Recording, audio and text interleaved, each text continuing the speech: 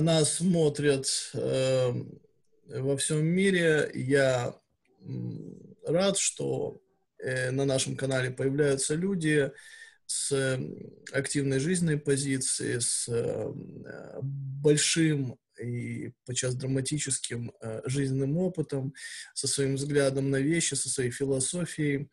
И вот эм, э, уже известная вам э, героиня нашего видеоканала Ананда Разина, э, духовный практик, э, вот одна из таких людей.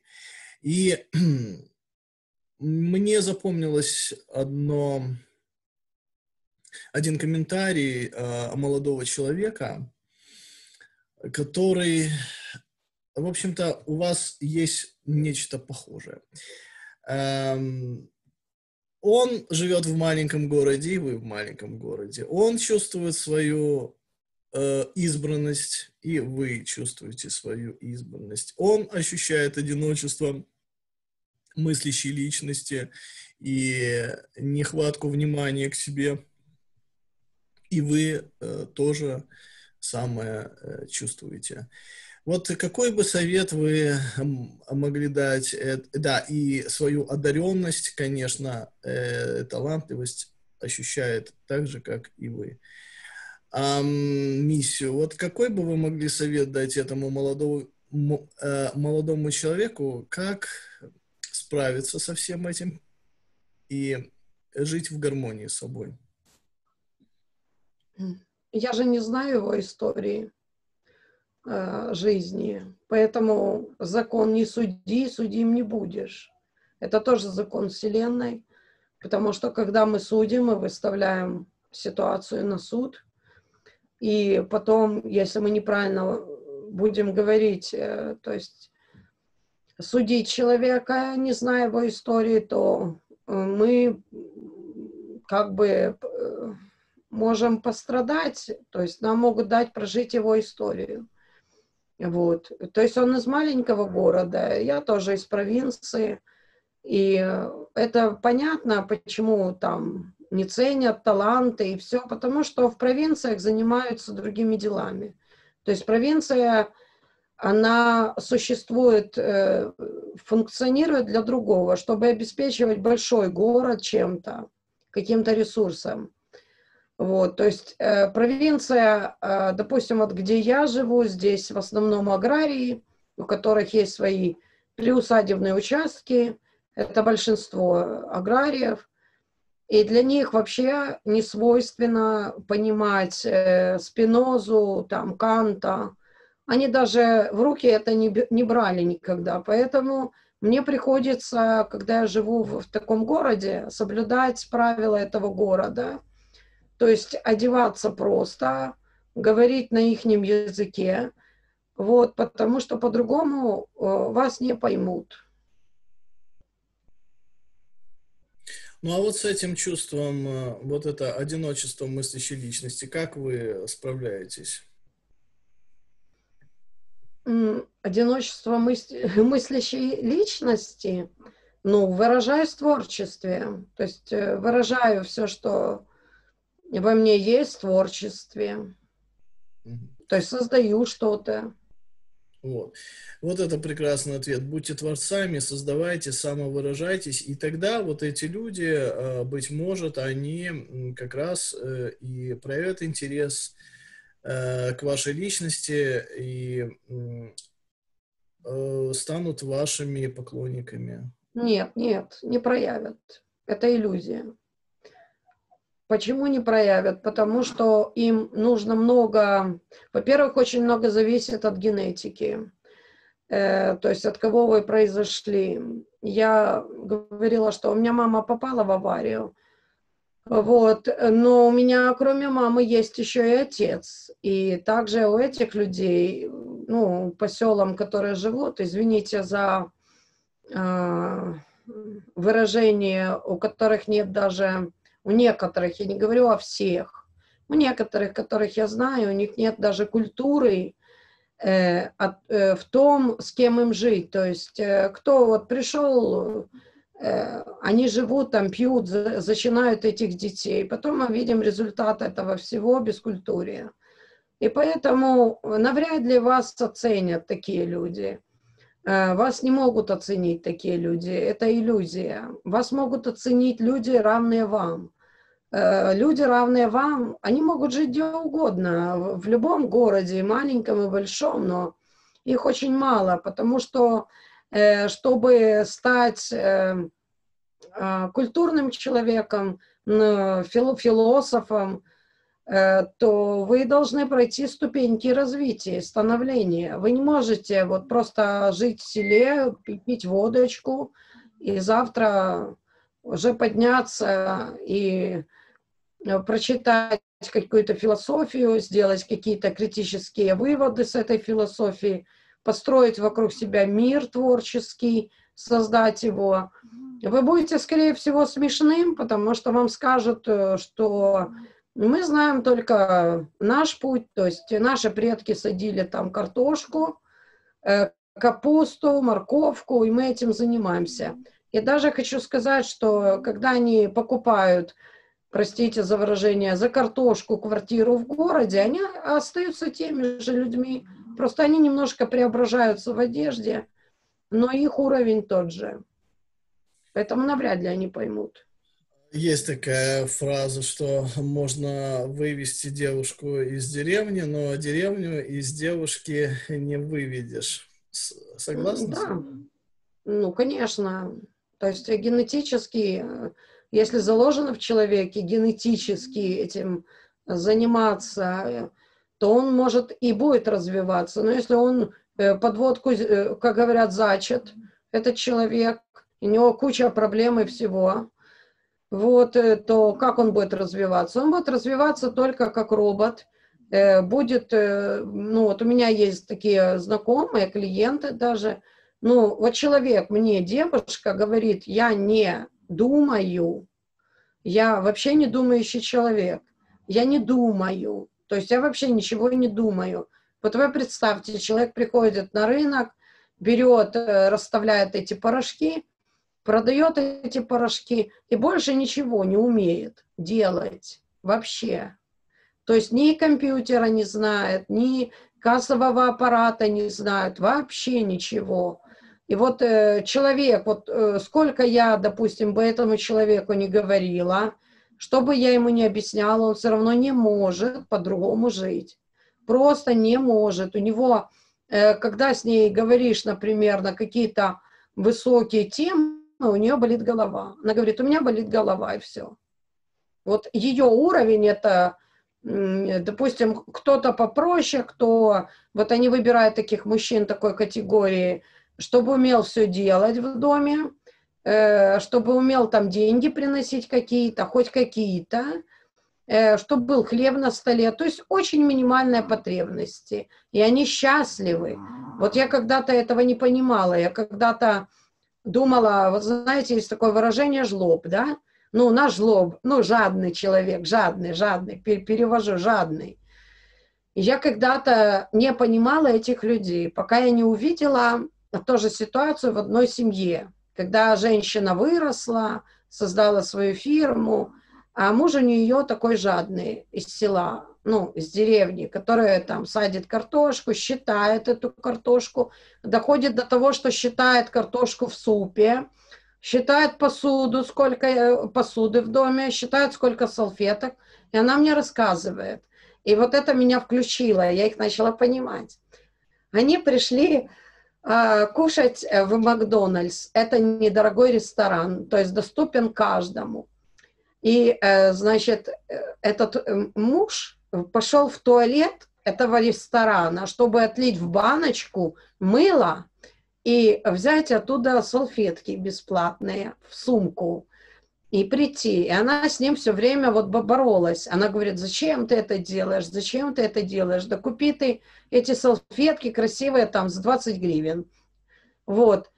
И потом э, до меня дошло, они получают удовольствие от этого. Вот у них жадность в том, чтобы где-то отлить, где-то сэкономить, даже салфетку, чтобы не купить, а взять где-то.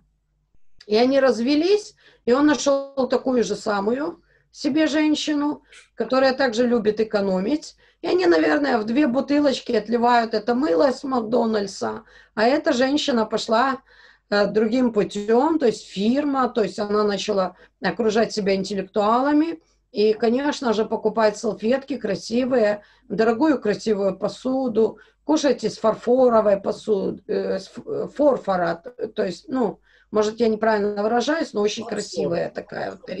Да. Э, то есть очень красивая. Потом у нее вот страсть, как у меня, к тому, как, э, вот, допустим, правильно кушать. Хоть я, допустим, и из бедной семьи, но когда я иду в ресторан, я знаю при, примерно какой этикет. Я знаю, как кушать правильно, как нужно размещать приборы столовые, какие, зачем нужно, э, где класть на этот стол. Так у нее тоже такая страсть. Вот генетика. А у мужа ее, у которой с ней жил, у него просто наварили, в общую тарелочку положили, все покушали. Э, даже они не гадят две тарелочки, потому что они очень э, экономные, то есть эконом вариант семьи. То есть для них вот э, изгадить тарелочку это уже катастрофа. Они просто с одной кушают. И они счастливы. Он нашел быстро такую женщину, которая также любит такое счастье. Понимаете, в чем вот половинка? Вы же не сможете с интеллектуалом жить, если вы э, э, не соответствуете уровню. А что хочется сказать? Ну, это просто вы тут описали патологически скупых э, людей. Это ну, есть такие, полно. Плюшкинизм, да, и да, есть, есть такой феномен. Это заболевание, но оно есть. И мне, например, как психологу смешно, но для них это не смешно, для них это жизнь. Вот, сэкономить где-то, поднять 10 копеечек, даже если у него есть в кармане, обязательно. Или ходить, допустим, одетым э, в какой-то неприличный вид, э, такой вообще уже затертый. Вот у меня был знакомый миллионер абсолютно недвижимостью занимался. Он зимой ходил в кедах, потому что он экономил на всем. Он ездил в метро, у него было, были деньги, но он такой вот жадный. Вот он даже на билетике экономит. Это вот болезнь, да. Это болезнь. Но что касается, что касается вот денег, давайте обсудим такую тему, а потом вернемся к теме культуры. Тут тоже есть у меня вопрос. Я как раз размышлял э, недавно на эту тему. Точнее так, э, сформулировал тему для размышлений. Но что касается денег, вот э, люди часто ценят то, что делают э, другие бесплатно, например, да, да, вы молодцы, вот все полезно, здорово, но как бы не спешат э, поддерживать такую деятельность, вот спонсировать, как бы поощрять, да, вот отказывают в поддержке, тем, кто им нравится, на, кто э, приносит пользу, да. И почему так происходит? Почему э, люди м, только на словах как бы поддерживают, а на деле уже вот появляется эта вот э, скупость, жадность, э, ск, скаредничают, да, вот не, не делают какого-то жеста красивого, пусть даже и, ну, совершенно такой символической суммой, не поощряют э, других людей. Ну, я скажу, вот, я э, скажу, донаты. Вот я знаю, в церковь они несут деньги, да, например, там покупают свечки, еще там что-то. А вот э, на светские какие-то проекты вот уже нет, нет такого, такой потребности у них поддерживать. А, значит, прежде всего, это люди не живут на отдаче, а живут на выгоде. То есть выгода – это когда для себя. Вот я для себя, я только поддерживаю то, что выгодно мне. Если на отдаче, то я поддерживаю то, что идет из моего сердца. То есть мы к отдаче приходим, когда раскрываем сердце. То есть мы просто, когда в любви, я вам просто так, между прочим, скажу, вот многие говорят, я в любви, я в любви. Да если бы вы были в любви, у вас бы сердце разорвалось, когда вы видите, э, что происходит, какие несчастья происходят вокруг. Поэтому те, кто в любви, здесь долго не находятся. Я уже говорила, они уходят. Потому что если вы будете в любви, в той духовной, божественной, у вас вообще вопроса не будет э, стоять, э, э, дать, допустим, э, человеку какое-то средство или э, купить буханку хлеба, потому что у вас сердце разорвется от боли. Это э, для тех, кто, кто говорит «я в любви». Вот. А те, кто еще живет для себя, то есть еще не на отдаче, это еще люди на пути. Поэтому у них есть меркантильный интерес. То есть церковь, она вроде бы как э, меня прославит как святого или еще как-то я заслужу какие-то внимания. А что мне с того э, художника, который голодный пишет картину? Э, мне художник что этот? Зачем мне на него давать? Поэтому этот человек исходит из э, своего представления о том, кому давать. И это его выбор, это его путь. Это не потому, что все такие, это просто есть люди, которые так живут. Если э, люди жадные, вот есть люди, которые, э, которые хотят, чтобы их уговорили, дайте мне. Вот, но э, сила в том, что не уговаривать нужно, а э, человек должен сам при, приходить к пониманию, зачем я это делаю. Э, понимаете, если он финансирует человека творческого, то он тоже будет как-то связан с этим творчеством. Если он церковь финансирует, он будет связан с этим духовенством, он будет поощрять это зомбирование, он будет поощрять это духовное рабство – то есть, в принципе, он платит за то, что он будет грешник, за то, что ему придется опять воплотиться, пройти эти все страдания, потому что на него повесят всех людей, которых он профинансировал, и э, он будет виновник этого рабства, потому что он соучастник этого, потому что проекты бывают разные, финансирование разное бывает.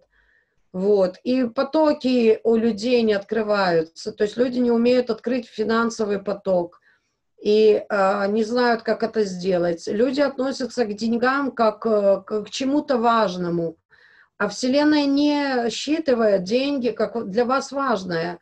Она считывает, что это энергия. Э, то есть вы тратите энергию, вам дают бумажками за вашу энергию. Это энергия, это, ну, как бы свойства энергии. То есть вам дают просто бумажки за, за, за ту потраченную энергию. Вот. Но люди придают этим бумажкам очень большое значение, поэтому они никогда не могут стать богатыми, потому что они не в то думают, не в то место, как говорят. Они думают о бумажках, а не о том, где мне эту энергию проявить.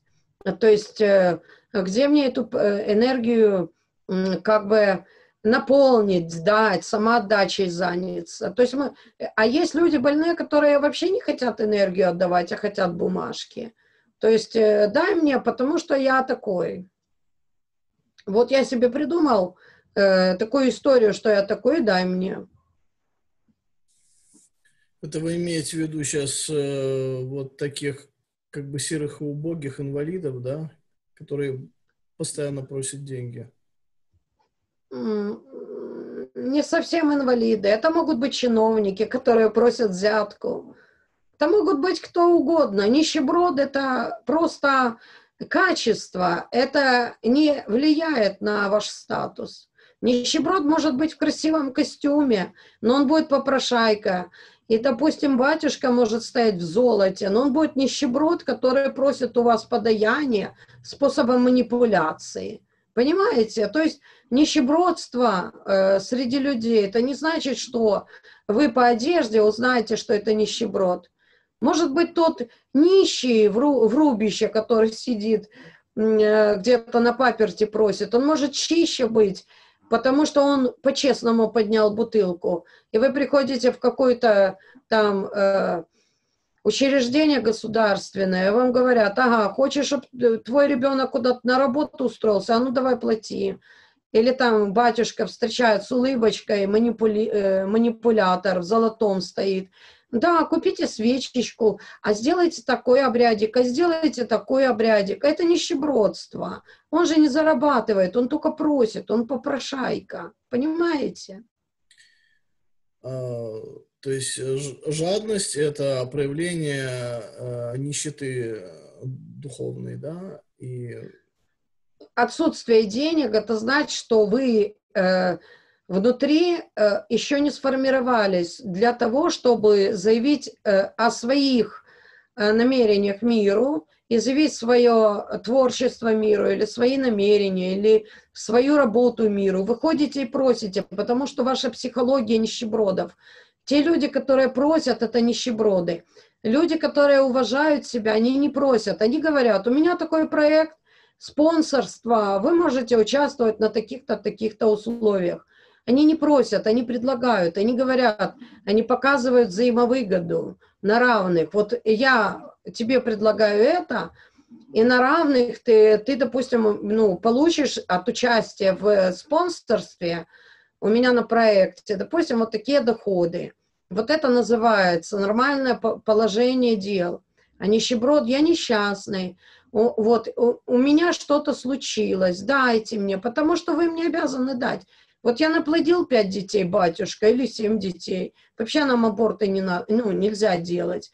А вы люди добрые, мне давайте дом постройте, и моей матушке что-то принесите, и детям принесите, понимаете? Вот это нищебродство. Хотя оно прикрытое красивой одеждой. Давайте о культуре еще несколько поговорим немножко. Ну вот я вижу как бы ее недостаток, ее то, что культура, она не представлена, она не заявляет о себе так, как экономика, например, да, потому что все говорят о деньгах, скажем, да, о работе, о каких-то вот, э, вот именно материальных благах, да, что надо машину купить, там еще что-то, вот общество потребления, но очень мало э, проявление культуры, творчества в, и, и в городском пространстве, и э, вообще как ценности даже, я бы сказал, да. Вот, э, и я не вижу интеллектуалов, которые бы могли вот так вот заявлять о том, о, о приоритете культуры, да, и требовать э, уделять культуре э, должное, должное внимание. Как, что вы думаете на этот счет? Что такое культура? Э, хватает ли вам этой культуры? И как сделать так, чтобы э, культуры стало больше, если это нужно, конечно? Э, культура, да, это сфера отдельная. И э, о культуре могут говорить люди, которые действительно занимаются творчеством и которым не все равно, как они живут. Э, я для себя поняла такое, что мне не нужно ходить в системы, обращаться и прочее. Что я могу, я делаю. Вот я захотела делать, я делаю фестиваль э, любительского кино. Почему я не хочу приходить в какие-то отделы культуры? Потому что э, мы, люди, уже давно заучили, что все эти гранды распределяются между собой. Все вот эти фонды, они работают только для каких-то двух человек, под заказ и так далее. Поэтому мы, люди, те, которые именно культура, а те, которые выстрадали это, мы делаем все, что мы можем, объединяемся с такими же людьми и находим себе финансирование у таких же людей, которые понимают, тот смысл культуры, который мы несем. Э, если, допустим, мы будем бороться с системой или говорить, ах, мы какие культурные, мы хотим фильм снять, еще что-то снять, то этой системе на нас очень далеко как бы все равно, что мы хотим снять. Поэтому находятся такие вот самородки, энтузиасты, как я, например, которая двигаю эту компанию, проекты и прочее – и такие люди есть и в Украине, и в других странах, самородки, энтузиасты, которые очень много делают для культуры, но они уже поняли, что система их не поддерживает, и поэтому они двигают это сами. Они вынуждены учиться этому, вот, и двигать, потому что это их жизнь. Они пока живут, пока дышат, они это делают. И э, те люди, которые, допустим, смотрят на внешнее, вот, а, и не видят сути, они идут в систему, они говорят, что вот э, такой-то фонд, вот я буду работать с таким-то человеком, допустим, с, так, с таким-то фондом, с такой-то раскрученной компанией или еще чем-то. Это их выбор. Но есть люди, которые видят суть, видят суть, потому что тот художник может писать шедевры и сидеть нищим на голом полу, потому что он продал все на краски, и рисовать эти шедевры, его никто не знает, потому что у него нет денег. И вот если, э, есть ли такие люди, которые могут это видеть? Есть ли? Есть, но их очень мало, потому что, чтобы такое увидеть, это нужно действительно разбираться в культуре. Это нужно не, не только иметь те знания, регалии, э, их должности, а нужно понимать культуру, искусство. Нужно понимать, в каких условиях человек это создает. И что нужно ему дать, чтобы он создал еще лучше. И, к сожалению, не каждый это видит. То есть, а за что я буду платить? Э, ну, подумаешь, вы что-то там пишете или создаете. Так э, вы не будете платить, потому что вы не видите искусства. Будут платить только те, кто видит искусство. А что такое кино? Вот я говорила, я занимаюсь кино. Это величайшее искусство. Вы понимаете, величайшее искусство. Я даже не могу сказать, что мы работаем в кино. Мы служим искусству служим, мы не работаем. Понимаете? И, и, и вы обратите внимание на тех же актеров, режиссеров, тех, кто связан с кино, какую они нагрузку несут. Они мало живут, 53 года умирают, потому что это колоссальная нагрузка. А что человека заставляет туда идти? Что человека заставляет двигать проект самому? Что его заставляет? Наверное, вот вот эта внутренняя суть, которую он раскрывает в этом творчестве, его никто не заставляет. У меня есть знакомые, которые продавали квартиры свои и снимали фильмы на свои деньги. Вы можете себе представить человека, который продает квартиру, чтобы снять фильм, потому что государство его не понимает, не хочет финансировать. И это огромные деньги он вкладывает в это. И он ходит, да, для вас, вот э, если меня смотрят там чиновники или кто-то из культуры, да, для вас это никто, потому что вы привыкли, знаете, ходить на зарплату, сидеть на ту зарплату, и вам ничего не надо. У вас будет и пенсия, у вас будет все. Но вы никогда не прикоснетесь к тому искусству. А я прикоснулась и видела таких людей, и поэтому я, пока живу, я что могу, создаю. Понимаете? Вот смысл творчества, настоящего. Прекрасная просто речь, достойная войти во все учебники по ораторскому искусству. Культура – это прежде всего культурные люди, которых необходимо поддерживать. И поддерживая культурных людей, вы поддерживаете как раз культуру. Поддерживая носителей культуры, вы поддерживаете культуру, потому что культура передается вот именно таким образом, от носителя к носителю. Спасибо огромное Ананде за эту э, исповедь. А у нас по-другому и не бывает, это всегда исповедь, э, любое интервью с Анандой Разиной, духовным практиком, продюсером. И есть о чем подумать. Эм, и, пожалуйста, задавайте вопросы, пишите нам, а, участвуйте в наших вебинарах, присоединяйтесь к нашим творческим а, проектам. Скоро мы дадим объявление, вы узнаете о них. Эм, и мы будем поддерживать талант и помогать талантливым людям – Эм, мы начали это делать самих себя, мы помогаем себе. вот. Но э, чем больше талантливых людей, тем интереснее жизни, тем э, более она насыщенная, более содержательная, осмысленная, осознанная и не скучная. Вот мне никогда не скучно, Ананде тоже. И поэтому это самое важное. Заполнить пустоту творчеством и прожить жизнь ярко, интересно, содержательно, с инсайтами, с э, огромной, огромной, огромной, вот реализовав свой огромный творческий потенциал. Спасибо огромное, Ананда. До новых встреч. Всего самого доброго.